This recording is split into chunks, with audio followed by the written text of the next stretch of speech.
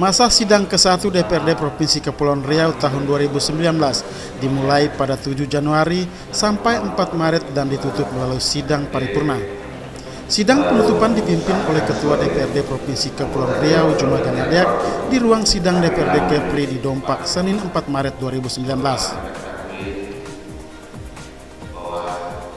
Rekapan kegiatan DPRD Provinsi Kepulauan Riau masa sidang ke-1 tahun 2019 dibacakan oleh Wakil Ketua 2 DPRD Provinsi Kepulauan Riau Husni Zarhut, di antaranya rapat paripurna empat kali, tiga kali rapat banmus, tiga kali rapat banmus, rapat pimpinan dan tiga kali menerima kunjungan.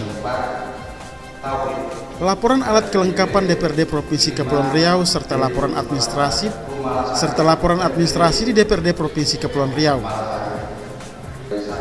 Laporan alat kelengkapan DPRD Provinsi Kepulauan Riau serta laporan administrasi di DPRD Provinsi Kepulauan Riau. Dengan adanya rapat paripurna DPRD Provinsi Kepulauan Riau tahun 2019 dapat memberikan kontribusi positif bagi peningkatan kualitas kehidupan masyarakat secara baik. Dari Tanjung Pinang, Kepulauan Riau, Muhammad Hulul melaporkan.